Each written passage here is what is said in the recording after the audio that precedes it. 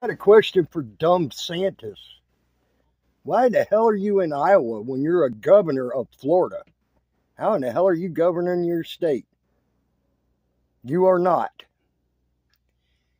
You were uh, appointed by the voting block of we the people to govern the state of Florida, not press a claim other than staying in your state to press your claim as president. You can't govern Florida and Iowa. So, who do you have governing your state? Should the people of Florida worry?